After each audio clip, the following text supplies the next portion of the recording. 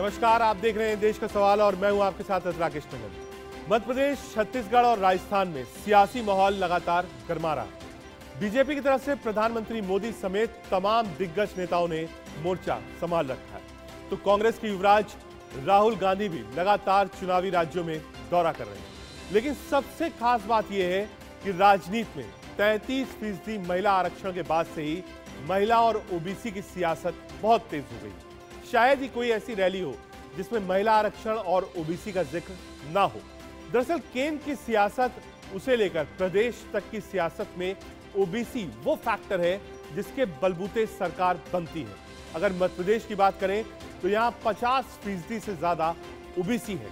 तो छत्तीसगढ़ में 40 फ़ीसदी से ज़्यादा ओबीसी की ताबाद, आबादी है। ऐसे में ओबीसी इस बार किसी, किसकी नैया पार लगाएँगे? इस बड़े सवाल पर आज चर्चा करेंगे। लेकिन पहले राहुल गांधी और प्रधानमंत्री मोदी ने क्या कुछ कहा? ओबीसी फैक्टर पर सुनिए। मोदी के बहाने पूरे पिछड़े समाज को गाली देने से नहीं चुकते। कांग्रेस के नेताओं को लगता है कि इस समाज को गाली भी देंगे तो कुछ नहीं होगा। गरीब, दलित, आदिवासी ओबीसी सभी से कांग्रेस नफरत करती है, कोर्ट सजा देती है, ओबीसी को गाली देने के लिए सजा देती है, फिर भी सुधरने को तैयार नहीं है। ओबीसी के लिए कितनी नफरत होगी, इसका ये उदाहरण है। महिला आरक्षण 10 साल बाद होगा, आज नहीं होगा। तो हमने कहा पहले ये दो लाइनों को आप बदलिए। ओबीसी आरक्षण, महिला आरक्षण में आपने क्यों नहीं दिया? नरेंद्र मोदी जी, आप कहते हैं कि आप ओबीसी के लिए काम करते हैं। आप ओबीसी के नेता हैं तो आपने महिला आरक्षण के अंदर के बीच में ओबीसी आरक्षण क्यों नहीं? आगे बढ़े, उसके पहले देश का सवाल क्या है?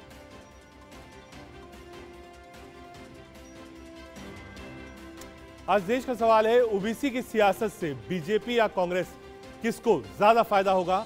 मोदी और राहुल बार बार क्यों ओबीसी का ज़िक्र कर रहे हैं? राजनीति में महिला आरक्षण का मुद्दा क्या सबसे बड़ा एजेंडा होगा? मौजूदा स्थिति में एमपी और छत्तीसगढ़ में किसका माहौल भारी है? इसी पर चर्चा करेंगे। एक लंबा चौड़ा पैनल हमारे साथ है। हमारे साथ सतीश लखेड़ा जी, प्रवक्ता भारतीय जनता पार्टी की तरफ़ से जुड़ रहे हैं। प्रोफेसर अजय उपाध्याय जी, प्रवक्ता कांग्रेस पार्टी की तरफ़ से हमारे साथ होंगे।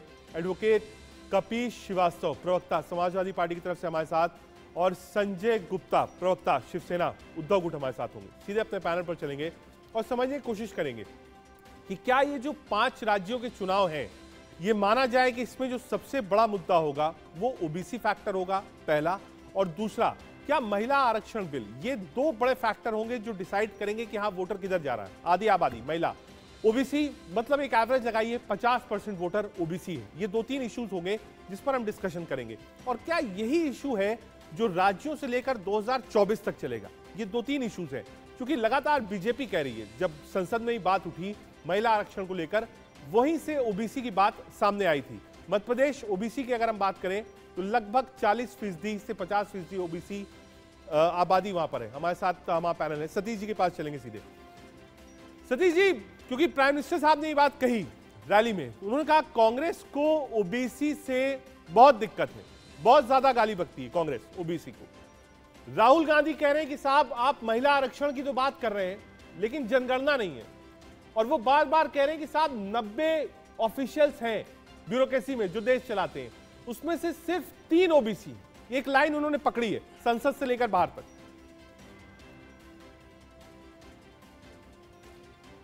रजत जी, राहुल गांधी जी की बात को कितना वज़न दिया जाए, मगर हम इस डिबेट में हैं, वो कांग्रेस पार्टी के नेता है और उन्होंने एक बयान दिया है तो एक पार्टी की ओर से जवाब बनता है। अधिकारियों के आधार पर, कैडर के आधार पर, जब वो अभी आप भाषण कह रहे थे कि ओबीसी नीति बनाते हैं, ओबीसी देश चलाते हैं। यहाँ मेरे मित्र अजय उपाध्याय जी हैं। भाई, सरकारें नीति बनाएँगी, जनता का जनमत नीतियाँ बनवाएगा और किस तरीके से इम्प्लीमेंटेशन होना है नीतियों को वो अधिकारी करेंगे। मगर उनका विषय है जिस कांग्रेस पार्टी ने हाँ। ब्राह्मण दलित मुसलमान सिंडिकेट को लेकर आधी सदी से ज़्यादा इस देश में राजनीति की जिन्हें कभी ओबीसी याद नहीं आया। हाँ। आरक्षण में उन्हें कभी महिलाएँ नहीं याद आई। महिला आरक्षण में उन्हें महिला आरक्षण के अंदर आरक्षण याद नहीं आया। वे आज नए विषय को उठा रहे हैं। जब इस देश में एक ओबीसी प्रधानमंत्री हैं और आज सबसे ज़्यादा राज्यसभा सांसद, सबसे ज़्यादा लोकसभा सांसद, सबसे ज़्यादा विधायक और जनप्रतिनिधि भारतीय जनता पार्टी के द्वारा ओबीसी निर्वाचित हुए हैं। इसलिए भारतीय जनता पार्टी को ओबीसी के विषय पर कहने की आवश्यकता नहीं है, मगर आप अपनी पुरानी सरकारों को देखिए। आपने सैकड़ों जितने मुख्यमंत्री बनाए, आपने किस जाति का तब ध्यान दिया। मगर आज जिस तरह आप भंवर में डूब गए हैं, आप इस नाव में सवार हैं बाढ़ में कि जिसमें सारे लोग जो एक दूसरे के सांप नेवले जैसे बैर रखने वाले हैं वो मजबूरी में एक साथ हैं। तो आप कभी सनातन को लेके कभी भारत को लेके कभी ओबीसी को लेकर आ रहे हैं मगर देश के सामने आप कोई ऐसा ब्लूप्रिंट नहीं दे रहे हैं कि उस पर डिबेट हो कि ओबीसी समाज के साथ कोई अन्याय हुआ है या ओबीसी समाज के कल्याण के लिए आप क्या कहने जा रहे हैं। इसलिए मुझे नहीं लगता राकेश जी कि राहुल गांधी का या कांग्रेस पार्टी का या इंडिया अलायंस का कोई ऐसा विषय देश सोचने को चाह रहा होगा, जब सबका साथ, सबका विकास में, सबकी भागीदारी के साथ, सबके कल्याण की योजनाएँ बन रही हैं प्रत्येक व्यक्ति को स्पर्श किया जा रहा है जो विकास से वंचित है बिना जाति धर्म देखे हुए किया जा रहा है। तो ऐसे समय पे जो ये किसी एनजीओ के माध्यम से आजकल उन्हें राय मिल रही है और वो रोज कभी किसी समाज के बीच में जाते हैं कभी कुछ करते हुए दिखाई देते हैं उसी तरह का ये बयान है। मुझे नहीं लगता ये बहुत गंभीर विषय है। ठीक है। क्यों? कि जिन जहाँ कल्याण होना चाहिए जहाँ नीति बननी चाहिए वहाँ मोदी सरकार के द्वारा पिछले नौ साल में प्रमाणिक रूप से कार्य हुआ है। ठीक है। अजय जी। बार बार सतीश टकेरा जी कह रहे हैं कि साहब, ओबीसी की तरफ़ आपने ध्यान ही नहीं दिया। जो परिपाटी थी कांग्रेस की, उन्होंने कहा साहब, दलित, मुस्लिम, ब्राह्मण को लेकर आगे चले। महिला आरक्षण का श्रेय भी बीजेपी ले रही है। फिर ओबीसी पर लड़ाई क्यों? अजय उपाध्याय जी। रजत भाई, पिछड़ों के हितों का स्वांग रचने वाली भाजपा आज उसका जो है जो पोल था वो खुल गया। महिला आरक्षण के बहाने ही सही जिस तरह से इन्होंने जातीय जनगणना का कोई आधार नहीं अपनाया, जनगणना एक आधार करके और जिस तरह परिसीमन का एक प्रतिबंध लगाने का प्रयास किया और जब पिछड़ों की आबादी के हिसाब से उनको आरक्षण की बात की जा रही है तो लगातार भाजपा के शीर्ष नेताओं के पेट में दर्द हो रहा है, क्योंकि उनको लग रहा है, सच्चाई भी है ये, कि सियासी ओबीसी का चोंगा पहन करके प्रधानमंत्री जी जिस तरह से पूरे देश में अपने को समय पर जब वोट लेना होता है तो ओबीसी दिखाते हैं। और सबको पता है कि कैसे 2004 के बाद इन्होंने जो है अपना नामकरण ओबीसी करा लिया था। जिस तरह देश के शहरों का नामकरण किया उस तरह उन्होंने स्वयं उसमें लिस्ट में ला, ला, अपना नाम डाल करके और ओबीसी के अधिकारों का कहीं ना कहीं अ, अ, सियासी लाभ लेने का प्रयास किया। जब उनको अधिकार देने की बात आए तो वो चुक गए क्योंकि उनके अंदर दिल में वो बात है ही नहीं। दो तीन तथ्य हैं और तथ्य पहला तो सरकारी क्षेत्र में जो हाल है सबको पता है भेल सेल रेल सबका कर दिया तेल और अडानी इनके मित्र को सब बेचने के लिए तैयार हैं, जिससे पिछड़ों के आरक्षण की जो बात है वो अपने आप स्वतः खत्म हो जाए। और ये मैं नहीं कह रहा हूँ, भागवत साहब 2015 के चुनाव में उनकी मंशा जो थी वो ज़ाहिर हो गई थी बिहार के चुनाव में कि ये आरक्षण को खत्म कर देना चाहिए। ये मानसिक स्थिति यही है। चुनाव के टाइम कभी कभार ज़रूर भाषा बदल लेते हैं और वो जैसे होता है ना कि रंग बदल लेने वाली बात। मैं नहीं कहूँगा उदाहरण जो है पिछड़ों के हितों की बात करते तो जो सरकारी क्षेत्रों में कार्यरत लोग हैं उनमें अधिकार अधिक अधिकाधिक संख्या में पिछड़ों की कहीं ना कहीं भागीदारी होती ठीक है। राजनीतिक प्रक्रिया में भी हमने दिया राज्यों के अंदर भी महिलाओं को आरक्षण दिया और पिछड़ों को भी आरक्षण पंचायती राज में दिया। विधानसभा के स्तर पर और लोकसभा के स्तर पर भी इसको दिया जा सकता है। लेकिन ये सरकार इस पर जिद में अड़ी हुई है कि नहीं देंगे। महिलाओं के अधिकारों की भी बात आएगी तो 2034 और 2044 पर ये लेकर के टाल गए कानून आज बना रहे हैं। ये सभी वर्ग को धोखा देने का काम ये सरकार कर रही है है। लेकिन लोगों की नज़र है पॉलिटिकल पार्टीज़ की क्योंकि छत्तीसगढ़ मध्य प्रदेश राजस्थान में। चुनाव है। ओबीसी एक बड़ा फैक्ट ठीक है अजय जी आ रहा हूँ। एक बार संजय गुप्ता जी के पास। तीनों तीनों जगह के मुख्यमंत्री हमारे ओबीसी रहे हैं और आगे भी ओबीसी होंगे। ठीक है संजय गुप्ता जी के पास। संजय ये जो पाँच राज्यों के चुनाव हैं क्या इसको सेमीफाइनल के रूप में देखा जाए? कि साहब यहाँ से अगर जिसने एक व्हील अपनी तैयार करी एक विजय गाथा लिखी कोई भी दल हो सकता है यहाँ पर मेन जो मुकाबला है चार राज्यों में, वो बीजेपी और कांग्रेस के बीच में है। तेलंगाना की अगर बात करिए तो वहाँ पर बीआरएस एक क्षेत्रीय दल लड़ रहा है।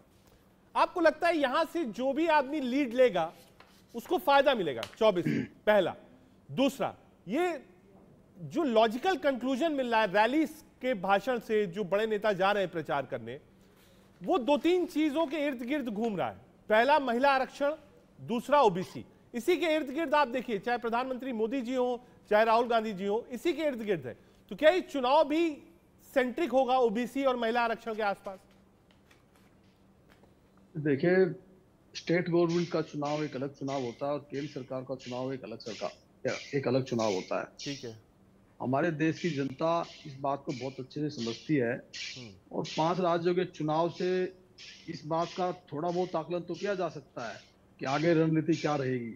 मगर केंद्र की राजनीति से और स्टेट की राजनीति से ये डिसाइड नहीं किया जा सकता कि स्टेट में जो फैसला हुआ वही केंद्र में भी होगा। ठीक बात है। तो मुझे नहीं लगता कि स्टेट गवर्नमेंट्स के चुनाव से जो भी कंक्लूजन निकल के आएगा वैसा ही कंक्लूजन केंद्र सरकार पर भी रहेगा। उसके मुद्दे अलग हैं और स्टेट गवर्नमेंट्स के मुद्दे अलग हैं। हाँ। क्योंकि जो कंटेस्टेंट जो चुनाव लड़ते हैं विधायक का और जो चुनाव लड़ते हैं सांसद का उनमें दोनों में बहुत फ़र्क है। हर किसी की अपनी इमेज होती है विधायक के चुनाव में अलग और सांसद के चुनाव में अलग और चेहरा अलग होता है। तो मुझे नहीं लगता कि स्टेट गवर्नमेंट के चुनाव से केंद्र की राजनीति पर या केंद्र के उसमें कोई बहुत ज़्यादा फ़र्क पड़ेगा। थोड़ा बहुत हो सकता है। ठीक है आ रहा हूँ। हमारे साथ एडवोकेट कपीश श्रीवास्तव जी। कपीश जी ठीक है ओबीसी वाली बात।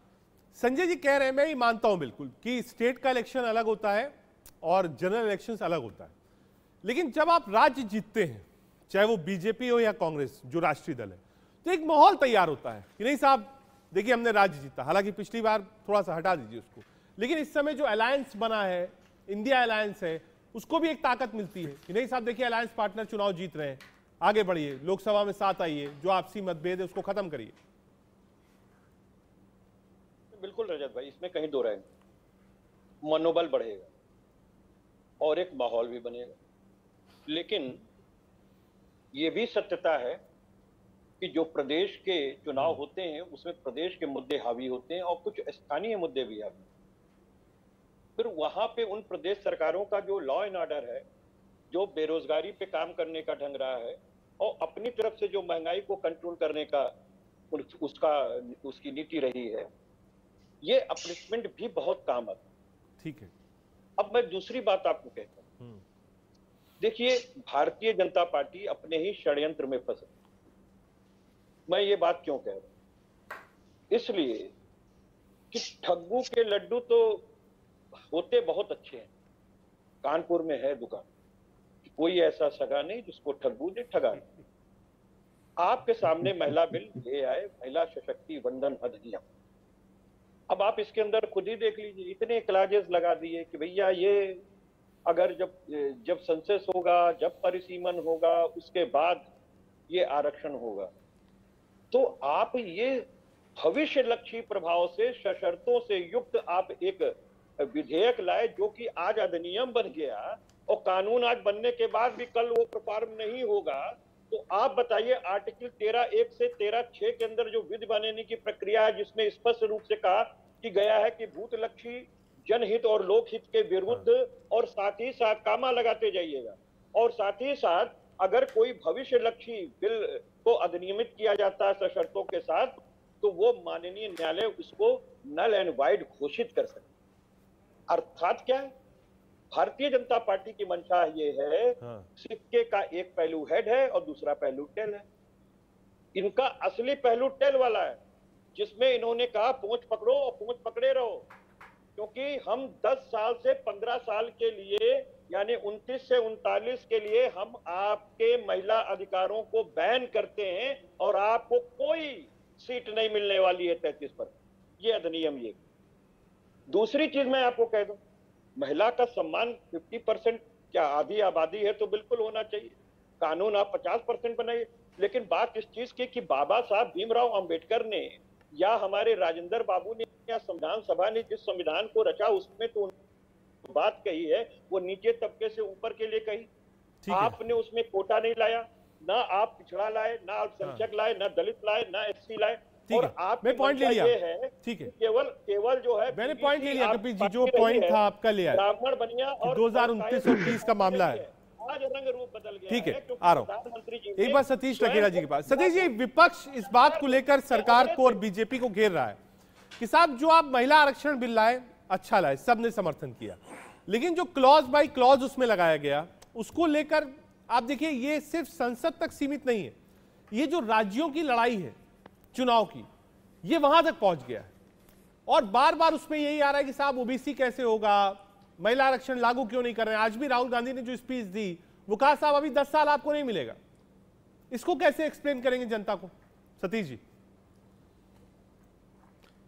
रजत जी, देखिए, इन्हें सियासत करनी है। और सनातन को गाली भी देनी है, मगर सनातनियों के डर से इन्हें उस तरह का स्वांग भी रचना है। जिस राम मंदिर का विरोध किया अब राम मंदिर दर्शन करने का राहुल गांधी कार्यक्रम बना रहे हैं। जिस मंडल कमीशन को सालों तक इन्होंने दबा के रखा जिन जिस कमीशन को लेके आज अगर वो समय पर लागू किया होता कितने कितने ओबीसी आईएएस बनते और वो समय पर आईएएस बनते तो कितने चीफ सेक्रेटरी बनते? और मैं कांग्रेस से पूछता हूँ चार राज्यों में आपकी सरकार है कितनों के चीफ सेक्रेटरी ओबीसी हैं आपके? और वही ओबीसी का जो दबाव था इनके उपेक्षाओं से मुलायम सिंह जी की पार्टी मायावती की पार्टी लालू प्रसाद जी की पार्टी। ये क्यों पैदा हुई? राजनीति में ये पार्टियाँ क्यों आई? केवल ओबीसी के नाम पे जातियों की न्याय के नाम पर जातियों की लड़ाई के नाम पर आए। अगर आपने मंडल कमीशन का उभार हुआ आंदोलन देखा होगा उस दौर में कांग्रेस विलेन की तरह थी। आज ये ओबीसी के हमदर्द हो गए हैं। भारतीय जनता पार्टी इकलौती पार्टी जिसने मात्र अभी तक मैं बाकायदा 68 मुख्यमंत्री भारतीय जनता पार्टी के द्वारा आज तक बनाए गए हैं जिसमें 21 ओबीसी बने हैं। और कांग्रेस ने आज़ादी से आज तक 250 मुख्यमंत्री बनाए जिसमें मात्र 43 बनाए। ये इतने बड़े ओबीसी के और जातियों के लंबरदार हैं कि जिन्होंने केवल सवर्ण मुस्लिम दलित का एक सिंडिकेट रखा। ये इनको बोलने का हक नहीं है। कपीश जी इसलिए बोल रहे हैं कि कपीश जी भले उस पार्टी और उस भार से आए हैं मगर आज इंडी गठबंधन में है उनकी मजबूरी हो सकती है। दूसरी बात मैं कह रहा हूँ, बीजेपी में आज लोकसभा में सैंतीस प्रतिशत, चौदह ओबीसी हैं, चौदह प्रतिशत एस हैं और सत्रह प्रतिशत शेड्यूल शेड्यूल ट्राइब है। आप बताइए, जिस तरह जातियों को सम्मान देने में, जातियों का प्रतिनिधित्व देने में भारतीय जनता पार्टी ने ईमानदारी बढ़ती है, ओबीसी को लेकर हमें किसी की आवश्यकता नहीं है। महिला आरक्षण का भी यही विषय है, जो सालों से, लंबे समय से जिसको छुआ तक नहीं था। इन्हीं के गठबंधन के एक व्यक्ति ने कितनी अभद्र टिप्पणी की है? वो पुरुषवादी मानसिकता की हो सामंतवादी मानसिकता की हो या महिलाओं के प्रति नकारात्मक रूप की हो कि बॉबकट महिलाएँ लिपस्टिक वाली महिलाएँ पार्लियामेंट में आएगी। इसलिए महिला आरक्षण की ईमानदारी भी हमने दिखा दी है। उसके अंदर क्या क्या करना होगा? वो देश की माताओं बहनों को आश्वस्त रहना चाहिए मोदी जी के नेतृत्व में।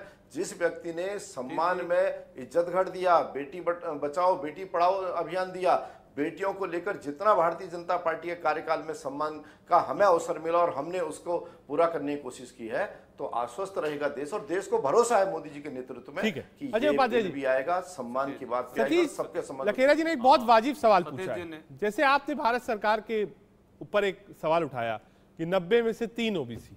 कहा चार राज्यों में सरकार है? बताइए कितने ओबीसी अफसर हैं? उन्होंने एक आंकड़ा भी दिया। कहा साहब कितने अच्छा- मुख्यमंत्री किसने ओबीसी के बनाए?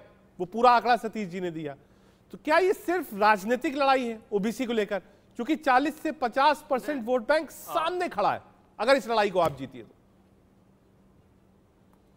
रजत जी ये राजनीतिक लड़ाई भाजपा के लिए हो सकता है और भाजपा इसको राजनीतिक तौर पे ही देखती है। इसे ओबीसी का हितैषी यदि आप मानते हैं तो ठीक कहा उन्होंने। सतीश जी को ये भी आंकड़ा आप, आपके दर्शकों को बताना चाहिए कि कांग्रेस पार्टी के पास तीन मुख्यमंत्री हैं तीन राज्य हैं और तीनों मुख्यमंत्री जो हैं ओबीसी के हैं। भाजपा के पास बारह तेरह चौदह मुख्यमंत्री हैं। अभी उस मुख्यमंत्रियों में कितने हैं ओबीसी? जरा यही रेशियो बता देंगे तो स्पष्ट हो जाएगा कि ओबीसी के प्रति भाजपा की आज की पॉलिसी क्या है? आज की पॉलिसी भाजपा की जो है, ये वही पुरानी पॉलिसी है जिसको शायद भूल गए सतीश जी। और सतीश जी याद करा नहीं रहे हैं और गलत इंफॉर्मेशन आपके दर्शक को दे रहे हैं। जब मंडल कमीशन 1992 के आसपास जब लागू करने की बात आई थी, रामो बामो की सरकार थी, कमंडल लेकर के इन्हीं के नेता आडवाणी जी मंडल कमीशन को सबोटाज करने के लिए कि वो लागू ना हो, जब बीपी सिंह ने घोषणा की तो क्या परिस्थिति बनाया पूरा देश में? पूरे देश को आग के हवाले कर दिया। ताकि मंडल कमीशन लागू ना हो और पिछड़ों को अधिकार नहीं मिले। यहाँ तक कि सरकार को भी गिरा दिया। ये सबने देखा। हमारी सरकार आई मंडल कमीशन हमने लागू किया। बीपी सिंह की सरकार नरसिंहा राव जी की सरकार के समय जाकर के वो जो है फाइनल रूप में आया वो वो कमीशन का रिपोर्ट और और और इम्प्लीमेंट हुआ। ते, तैतीस प्रतिशत आरक्षण की बात आप कर रहे हैं। हमने तो कई राज्यों में 50 परसेंट महिलाओं को लोकल बॉडीज में और पंचायती राज के तहत उनको हमने रिजर्वेशन दिया है। और उसमें ओबीसी को भी रिजर्वेशन है। तो मैं कहता हूँ कि ये यदि आपके दिल साफ़ होता, आपके अंदर सियासत की सिर्फ़ चाहत नहीं होती, ईमानदार होते आप महिलाओं के प्रति या समाज के पिछड़े वंचित वर्ग के प्रति तो निश्चित तौर पे उनको आप देने में कोई कोताही नहीं बरतते रिजर्वेशन जब सभी लोग एक मन से, एक सुर से पार्लियामेंट में देखा आपने, राज्यसभा, लोकसभा में एक विरोध नहीं हुआ महिलाओं के अधिकार को देने के लिए, हम सभी चाह रहे हैं कि अभी दिया जाए ये क्या कह रहे हैं? जातीय जनगणना। वो भी नहीं, उसको पब्लिश नहीं कराएँगे। जो होना चाहिए चौदह में, यदि है, हिम्मत तो उसको पब्लिश करवाएँ। मांगे पब्लिकली भाजपा के प्रवक्ता यहाँ अपने लीडरशिप से आग्रह करें कि हम जातीय जनगणना जो हम कराए थे, उसको ये सरकार पब्लिश करे, चौदह से लेकर बैठी हुई है। महिलाओं के आरक्षण की बात आ रही है। बिल आज बन गया। एक तो साढ़े नौ साल में इनको याद नहीं आई। जब चुनाव आने वाला है तो चुनावी जुमला एक जो है, फेकाइनो सुपरसोनिक जो क्रूज मिसाइल होता है उसकी गति से। 2023 नहीं 2024 नहीं 26 नहीं 28 नहीं 29 नहीं 30 नहीं 33 और 34 के बाद महिलाओं को यहाँ तक इन्होंने ब्लॉक कर दिया कि आपको हम देंगे। लेकिन सपना देखिए आप 34 का। अरे, ये क्या है? ये क्या बात हो गई? ईमानदार प्रयास कीजिए। हम सब चाहते हैं 2024 में महिलाओं को यदि रिजर्वेशन की बात आई है 33 प्रतिशत उनको अभी क्यों नहीं मिलना चाहिए? यहाँ शुभम शुभ मल्होत्रा जी बैठी हैं इनको अभी क्यों नहीं जाना चाहिए लोकसभा में चुनाव लड़ना चाहे तो? 33 प्रतिशत के तहत क्यों ये तैतीस के कब की प्रतीक्षा करेंगी? तब इनका एज क्या हो जाएगा? ठीक है। जो आज जो लेकिन साठ के महिलाएँ हैं उनका एज तैतीस में क्या हो जाएगा? ठीक है। ये क्या दर्शा रहा है? ठीक है। ये सिर्फ़ लेकिन सरकार है जो मैंने बहस सुनी थी अजय जी प्रोफेसर साहब जो मैंने बहस सुनी थी और कई लोगों ने बड़े वक्ताओं ने बोला था सदन में। उसमें कॉन्स्टिट्यूशनल प्रोविजंस भी है। उसके बिना आप ये आरक्षण नहीं दे सकते। दूसरा कहा जो 21 में जनगणना होनी चाहिए थी वो कोविड के कारण नहीं हो पाई। 21 में कहा उस कॉन्स्टिट्यूशनल प्रोविज़न को कैसे आप तोड़कर आगे चले जाएँगे?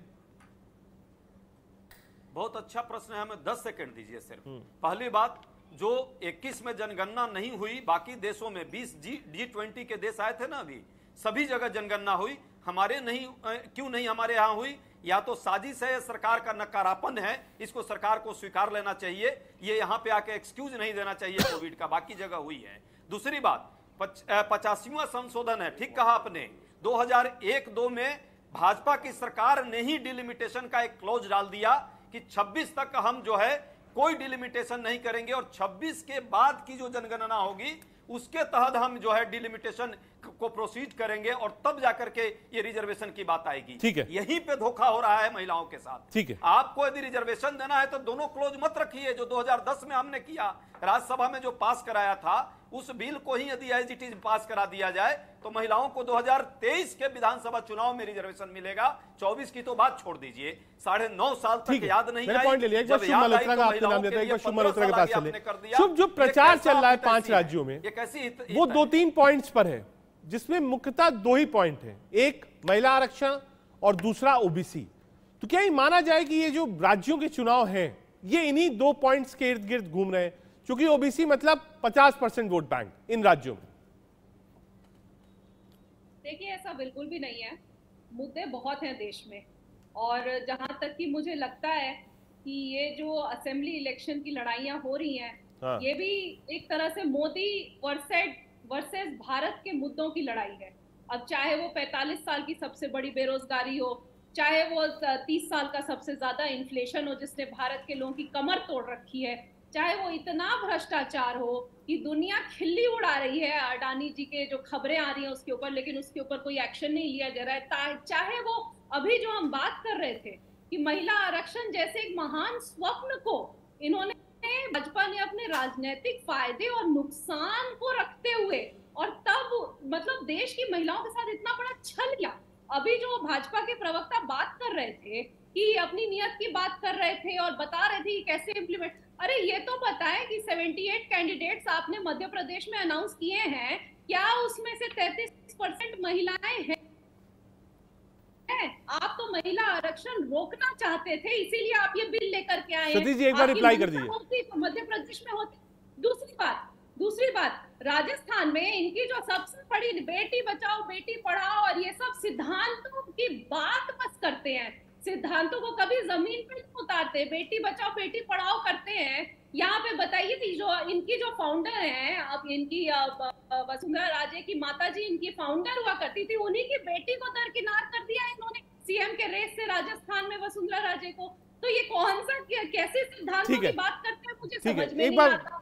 सतीश जी जो भारत ये जो सीट्स हैं और लोगों ने ये बात कही कहा साहब ठीक है जो कॉन्स्टिट्यूशनल प्रोविज़न है उसके तहत आप चलिए उसमें वक्त लगेगा होगा। लेकिन पार्टियाँ स्वयं सुओ मोटो भी तो ये फैसला ले सकती हैं कि नहीं साहब जब होगा होगा लेकिन जो भी विधानसभा या लोकसभा की सीटें होंगी हम तैतीस फ़ीसदी आरक्षण इंटरनली महिलाओं को देंगे। भाजपा ले, लेके आइए तो भाजपा लीड क्यों नहीं लेती? सतीश जी। रजत जी भारतीय जनता पार्टी को मैं इस डिबेट के माध्यम से भी कहना चाह रहा हूँ। ठीक है जैसे हमारी बहन कह रही कि भ्रष्टाचार आपके दो सम्मानित मंत्रीगण जेल में हैं भ्रष्टाचार किया है। कोई भारतीय जनता पार्टी ने जेल में नहीं डाला है भारत के कानून और न्यायपालिकाओं ने जेल में डाला है। दूसरा उधर की बात आप जहाँ कहते कहते आपने अरे डिबेट रजत जी मैं बोलूँ? हाँ सतीश जी आपका वक्त है आप बोलिए। जी जी। इसलिए भारतीय जनता पार्टी की नियत पे इसलिए भी नहीं हो सकता जैसे कह रहे कि इन्होंने इसका कैंडिडेट नहीं बनाया और इस राज्य में नहीं बनाया। भारतीय जनता पार्टी में जैसे केवल गांधी परिवार के लिए प्रधानमंत्री कुर्सी या केजरीवाल जी के लिए सारे बड़े बड़े पद रखे गए हैं ऐसा नहीं है। डेमोक्रेटिक सिस्टम है, भारतीय जनता पार्टी में कोई भी कार्यकर्ता किसी भी दायित्व पे जा सकता है। ये नहीं कि ये फाउंडर थे और उनके बच्चों को ऐसे किया जाएगा, वो सोच आप अलग कीजिए। मैं रजत जी फिर विषय पर आता हूँ। मैं अजय उपाध्याय जी भी बता रहे थे, प्रोफेसर हैं और अध्ययनशील व्यक्ति हैं। किस पार्टी में कहाँ कितनों को कौन दिया? हमने तो हमारी पार्टी में जो प्रधानमंत्री जी, वो ओबीसी हैं। आप बताइए आप तो बता भी नहीं सकते सदैव और सदैव गांधी परिवार इकलौता परिवार उसके पास प्रधानमंत्री पद रहना है और मजबूरियाँ है कि जो हाँ, अभी राजीव राहुल गांधी जी के नेतृत्व में करारी हारे हुई सबसे ज़्यादा हुई इसलिए नहीं दिया। नहीं तो अध्यक्ष और प्रधानमंत्री का पद एक परिवार के बाद आप बाकी देश के सारे बार जवाब देखना चाहते हैं। आप सतीश जी सतीश जी ने बहुत अच्छी बात कही, लेकिन सतीश जी को जनता को बताना चाहिए कि प्रधानमंत्री जी ओबीसी कब बने और प्रधानमंत्री जी क्या भाई जन्म से ओबीसी हैं या उन्होंने ओबीसी के लिस्ट में अपना नाम डलवा करके ओबीसी के राजनीतिक फ़ायदे उठाने का प्रयास किया। और आज भी वो हो रहा है, जब चुनाव आता है तो ओबीसी ज़रूर अपने को पब्लिक डोमेन में जाके बोलते हैं। लेकिन सच है, जब ओबीसी को अधिकार देने की बात जब जब आती है तो उनके अधिकारों पर कुठराघात करने का काम भी प्रधानमंत्री जी ही करते हैं। यदि ऐसा नहीं होता तो कितने ओबीसी मुख्यमंत्री आपने बनाए? केंद्र में कितने मंत्री आपके पास हैं? कितने प्रशासन में हैं? क्यों सारे सरकारी जहाँ पे लोगों को आरक्षण मिल सकता था, उन सारे चीज़ों को क्यों आपने खत्म करने का प्रयास किया? ये एक बड़ा प्रश्न है और अभी जातीय जनगणना क्यों नहीं प्रकाशित कराया साढ़े नौ साल होने को है? जो सरकार हमारी करके गई थी, हमें सिर्फ़ प्रकाशित करवाना था। इसका मतलब आप ओबीसी के हित ऐसी नहीं है, ओबीसी के नाम पे राजनीति करके सियासी लाभ लेने के लिए आप बनावटी ओबीसी का अपना जो है कहीं ना कहीं चोला पहन रखा है, ये स्वांग है। दस दस सेकंड दे दीजिए सिर्फ़। जहाँ तक बात महिलाओं के अधिकार की है, बहुत अच्छा कहा हमारे सतीश भाई, बहुत विद्वान आदमी है, लेकिन ये भी सच्चाई है जानते हैं किस तरह दिखावटी इन्होंने हर क्षेत्र में किया है, सिर्फ़ सियासत पाने के लिए। ब्रिज ब्रिज मोहन भूषण जनता पार्टी के लोग से हम आशा भी नहीं करते, महिलाओं के साथ क्या हुआ, कैसे बिलकती रही, एक कोई न्याय नहीं हुआ। इसी तरह मणिपुर में क्या निर्वस्त होकर महिला घूमती रही, कोई न्याय नहीं हुआ। चिन्मयानंद साहब से लेकर कुलदीप संगर तक को लोगों ने देखा है। डीएनए में ही नहीं है। आरएसएस देखिए ना कितने लोग हैं आरएसएस में? जरा पूछिएगा अभी तक सर सरकार कार्यवाहक के तौर पे कितने लोग महिला गई हैं वहाँ पे? कैबिनेट मंत्री में मात्र दो महिला वो भी कहने के लिए हैं। ठीक है। उनसे कोई काम नहीं लिया जाता एक छोटा सा के उसके बाद एडवोकेट कपिल श्रीवास्तव जी के पास जाना है। सच्चाई है इस सच्चाई को देश देख रहा है। आप न महिला के समर्थक हैं ना आप ओबीसी के समर्थक हैं। ना ही आप देश के मजदूर नौजवान अजय जी मुझे थोड़ा सा वक्त दीजिएगा। किसान दलित आदिवासी जी समर्थक छोटा सा रिप्लाई उसके बाद जाना अपने है। सियासत के समर्थक हैं कपिल जी के पास। चाहिए।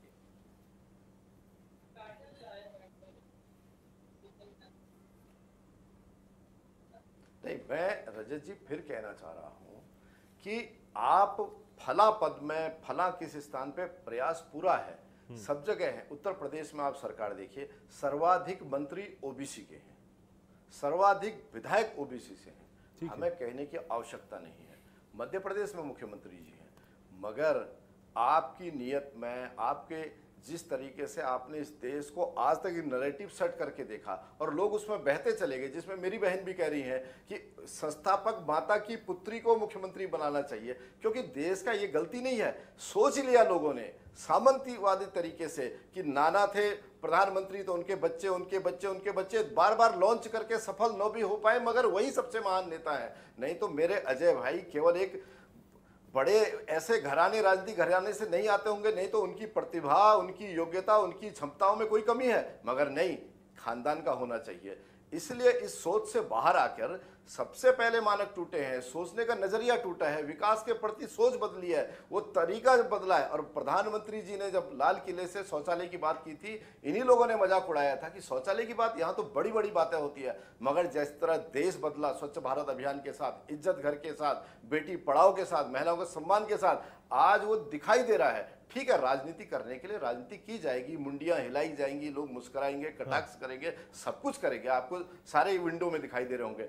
मगर आप अपने अंदर झाँक कर देखिए आपके कार्यकाल में और हमारे और जो ये इंडिया अलायंस बन रहा है केजरीवाल जी छत्तीसगढ़ में कह रहे हैं कि यहाँ की स्कूलों की दुर्दशा देखिए आम आदमी पार्टी को लाइए देखिए मैं क्या करता हूँ इसलिए मैं कह रहा हूँ ये लोग जिस तरीके से एक ठीक दूसरे है। को कब कर रहे हैं जो अलायंस की लड़ाई है। एक बार। एडवोकेट श्रीवास्तव जी के पास जी मैं ओबीसी थोड़ा आगे जो बात लखेरा जी ने उठाई है कहा साहब ये जो इंडिया अलायंस है ये आपस में ही लड़ रहा है, आपस में ही खेल रहा है। अरविंद केजरीवाल जी कैंपेन कर रहे हैं। कैंपेन किसके खिलाफ करेंगे? छत्तीसगढ़, राजस्थान में, कांग्रेस पार्टी के खिलाफ। अखिलेश जी वहाँ मध्य प्रदेश में चुनाव लड़ेंगे। किसके खिलाफ लड़ेंगे? किसका वोट बैंक लेंगे? कांग्रेस का वोट बैंक लेंगे। कैसा अलायंस किस बात का अलायंस सबसे पहली चीज़ तो आप यही जान लें कि हम लोग जो चुनाव लड़ रहे हैं वहाँ से, वहाँ पे मध्य प्रदेश में सरकार इनकी है। इनके विरुद्ध लड़ रहे हैं। और हम लोगों ने जो भी अटैक किया है वो नीतियों पर किया है। अटैक नहीं करते हैं सिर्फ़ इतना बताते हैं कि महाराष्ट्र मध्य प्रदेश के अंदर केवल भ्रष्टाचार है और कुछ नहीं। जो लाडली योजना है किस तरीके से छोटी छोटी बच्चियों को धोखा देने का काम किया? कहने के लिए आपने कहा कि लाडली योजना इतने लोगों के लिए चला है कहीं 600 बहनों को बच्चियों को उसका लाभ मिल रहा कहीं 200 बच्चियों को लाभ मिल रहा ज़िले में, और लाखों लाखों पंजीकृत है। और आयुष, जो घोटाला हुआ, वो क्या आयु, अद्वितीय नहीं है? और व्यापम घोटाला कोई भूल जाएगा क्या? जिसमें इक्यावन लोगों की शहादत इन्होंने दिला दी कि जब सीबीआई चलती थी इंक्वायरी किसी से पूछताछ के लिए तो उसकी हत्या हो जाती। अब मैं एक बड़ी बात है। सनातनी ये काफ़ी बनते हैं। हम तो आप कहते हैं कि आप तो सनातन के साथ भी नहीं। अगर आप खड़े होते तो हमारे मुस्लिम बहनों को आपने कितना अच्छा दिया, तीन तलाक बनाकर कम से कम हम हिंदू बहनों के लिए भी बना लिया होता है कि जिनके पतियों ने बिना किसी अकारण छोड़ रखा अपनी पत्नियों को और भरण पोषण भी नहीं देते हैं, और ऊँचे ऊँचे ओहदे पे बैठे हुए भारत में तमाम ऐसे पति हैं। आखिर वो, उनकी वाइफ तो ना तो न्यायालय जा पाती है डर के मारे और ना थाने जा पाती है उनके लिए अधिनियम कब आएगा? उनको क्या सशक्तिकरण नहीं चाहिए? उनको भी सशक्तिकरण चाहिए। अगर आप कहते हैं आप मुस्लिम बहनों को तीन सतीश जी मुस्लिम दिलाएँ, बहनाएँ तो बिना तलाक आज़ादी क्यों नहीं दिला रहे और हिंदू बहनों तक मामला पहुँच गया है। कपिल जी कह रहे हैं। कहा भाई तीन तलाक आप ले आएँगे आरक्षण दे देंगे। हिंदू बहनों को क्यों नहीं दे रहे? रजत जी रजत जी वही मैं कह रहा हूँ बहुत अच्छी बात है। कितनी उम्मीद है कितने कटाक्ष हैं। यही बात तो यही सुझाव है। और ये उम्मीद है हमारे भाई जो बोल रहे हैं। कारण क्या है कि क्या कई लोग कहते हैं कि क्या चौदह में ही देश आज़ाद हुआ है? अरे भाई आधी सदी से ज़्यादा एक परिवार ने सत्ता की और वो इस तरीके से पूछ रहे हैं ये भी नहीं हुआ इनके लिए नहीं हुआ इस वर्ग के लिए नहीं हुआ साथ का हमारा जापान हमारे बात का कहाँ पहुँच गया और देश कहाँ चले गए इस देश को किस हालत में आपने रखा हुआ है? और जब निःशुल्क राशन दिया जाता आप कहते देश को गरीब बना रखा है। अरे भाई सबके विकास को करते विकास की योजनाओं के साथ प्रत्येक व्यक्ति का जिस तरह से सुदृढ़ीकरण होना है इसलिए आप अपने गिरेबान में ज़रूर झांकिए। आपका कार्यकाल किस तरह का रहा कि इसरो का मिसाइल साइकिल में जा रहा है और नेहरू जी के कपड़े पेरिस जा रहे धुलने के लिए। आपने देश को किस तरह चलाया और देश की प्राथमिकताओं को कितना निचले दर्जे पर रखा? आपने गांधी परिवार की सुविधाओं कितना बड़ा रखा? कि गांधी परिवार एयरफोर्स के जहाज़ में चला करता था जिसमें केवल सेना के अधिकारी रक्षा मंत्री क्योंकि गांधी परिवार का मामला और आपके नेता का मामला एक बार आप रिप्लाई दे सकते हैं। अजय जी। देखिए बहुत देखिए जनता के बुद्धिमता पर बार बार प्रश्न करना मुझे लगता है कि लखेड़ा जी को भी ठीक नहीं है क्योंकि इसका मतलब जनता ने जो 60 साल तक हमें यदि रखा या 55 साल तक हम लोग रहे तो जनता ही आज मोदी जी को भी कुछ साल तक साढ़े नौ साल तक रखी और देख ली है। ठीक है घबराहट होती है भटकाने का प्रयास है लड़खड़ाने का प्रयास है और मुद्दों को टरकाने का प्रयास इनका ज़रूर हो सकता है लेकिन जनता समझ रही है बात को। यदि गांधी परिवार से इतना इनको प्रॉब्लम है हम सबको पता है कि इनको गांधी परिवार से दिक्कत नहीं है। इनको गांधी शब्द से दिक्कत है और ये आरएसएस के मूल में है। गांधी जी के सत्य अहिंसा के विचार से प्रॉब्लम है। गांधी जी के, बीच के के बारे में जब भी बात होगी तो ये उनसे नफरती एजेंडा में रहते हैं। देश में जिस तरह हम मोहब्बत का पैगाम लेकर चल रहे हैं वहाँ इनको समस्या है। सतीश जी आपको समस्या है समझ रहे हैं। आप लोग गोडसे के पुजारी हैं तो विचारधारा के पर आपको हमसे समस्या होगी। और इसी कारण राजीव जी की शहीदी को आप नहीं देख पाएँगे। जवाब सुन लीजिए सतीश जी का। नहीं देख पाएँगे। चौदह साल तक नेहरू जी यदि रहे हैं जेलों में आपके तो एक आदमी को प्रवास कभी जेल जाने की ज़रूरत नहीं रिप्लाई दीजिए वक्त का परिवार कोई रहता है हाँ। इतना बड़ा नेता अजय जी रिप्लाई तो सुन लीजिए। प्रिय प्रधानमंत्री तो दस दस सेकंड सिर्फ़ व्हाट्सएप यूनिवर्सिटी से यदि कोई ज्ञान आप प्राप्त कर लिए। पेरिस जाता था कपड़ा धुलाने ठीक है। तो अमेरिका जाता था अजय जी एक बार रिप्लाई ले लीजिए। तो इसका तो कोई जवाब नहीं है। आप एक बुद्धिमान प्रवक्ता है तथ्यों पर बात कीजिए और आंकड़े सही रखिए। मुझे हाँ। खुशी होगी अच्छा हाँ। लगेगा। अजय जी। हमको एक्सपोज कीजिए हाँ। लेकिन सही आंकड़ों से करेंगे तो हमें भी अच्छा लगेगा। हम भी तथ्यात्मक आपको जवाब देंगे तो अच्छा लगेगा। मैं अजय जी मैं कह रहा हूँ दिक्कत इससे नहीं है गांधी परिवार से दिक्कत नहीं किसी से दिक्कत नहीं क्योंकि देखिए आप लोगों का उनके प्रति इतनी निष्ठा कि इतने नुकसान के बावजूद भी आप उनके नेतृत्व में पूरी कांग्रेस सियासत कर रही है तो ये आप लोगों का कलेजा है। मेरा कहने का मतलब देश आज़ादी के बाद जिस तरह का इतिहास लिखा गया और जो इतिहास हमारे दिमाग में बैठता गया कि देश केवल इसी परिवार ने या, या कांग्रेस ठीक है। एक बार शुभ के पास शुभ देखिए बीजेपी बार बार इस बात को कह रही है कि अरविंद केजरीवाल साहब कैंपेन तो कांग्रेस के खिलाफ ही कर रहे हैं। क्या मतलब है लाइन्स का? नहीं क्यों? उनको ऐसा क्यों इतना थ्रेटन फील कर रहे हैं कि अपना नाम लेने से डर रहे हैं? अरविंद केजरीवाल जी बस स्टेट बाय स्टेट जाकर के और दिल्ली के जो अच्छे मॉडल है, उनको प्रेजेंट कर रहे हैं। दस साल में ये जनता ने तो अधिकार हमें दिया है ना? तीसरी जो सबसे हम राष्ट्रीय पार्टी बने हैं, सबसे तेज़ी से भारतवर्ष के इतिहास में, पहले दिल्ली की जनता ने तीन बार, फिर पंजाब ने इतने मेजोरिटी से, भाजपा के गढ़, गुजरात में हमें, हमारे पर लोगों ने विश्वास जताया, गोवा में विश्वास जताया। ये तो अधिकार हमें लोगों ने दिया है। तो जैसे ये जनतंत्र का हर जगह गला घोटने में लगे हुए हैं, वैसे ही घोटना यहाँ भी चाहते हैं क्या? और दूसरी बड़ी मज़ेदार बात बोली इन्होंने कि वसुंधरा राजे और परिवारवाद के बारे में बार बार ये कांग्रेस को बोल रहे हैं। अनुराग ठाकुर किस चीज़ का एग्ज़ाम्पल है? भाजपा के मिनिस्टर है ना? किरण रिज्जू किस चीज़ का एग्ज़ाम्पल है? भाजपा के मिनिस्टर सतीश जी रिप्लाई आपने परिवारवाद का आरोप हाँ। लगाया शुभ पर शुभ ने भी तीन चार एग्ज़ाम्पल दे दिए आपको। ये हमारे जो दो नेताओं के बारे में बार बार बोल रहे हैं हम्म। देखिए हम तो कोई भाजपा की वॉशिंग मशीन को लेकर के चल नहीं रहे बिल्कुल। सतीश जी रिप्लाई परिवारवाद पर तीस सेकंड मेरे पास परिवार हाँ रजत जी परिवार हाँ परिवारवाद का अर्थ ये है किसी का बेटा राजनीति में आए ये प्रतिबंध नहीं है। किसी का कोई आए वो प्रतिबंध में नहीं है। रजत जी का बेटा? राजनीति में आए वो पत्रकारिता में आए पत्रकार बन सकता है? मगर कहे कि केवल पाँच बजे का शो मैं ही लूँगा यहाँ दिक्कत है पार्टी का मुखिया मैं बनूँगा मुख्यमंत्री मैं बनूँगा पार्टी का अध्यक्ष मेरे पास रहेगा ये परिवारवाद है। नहीं तो है आपके यहाँ तो बनावटी अध्यक्ष है हमारे वक्त आज इजाज़त देता है वहाँ आप तमाम मेहमानों का बहुत शुक्रिया आपने अपना कीमती समय निकाला और देश का सवाल का हिस्सा बने।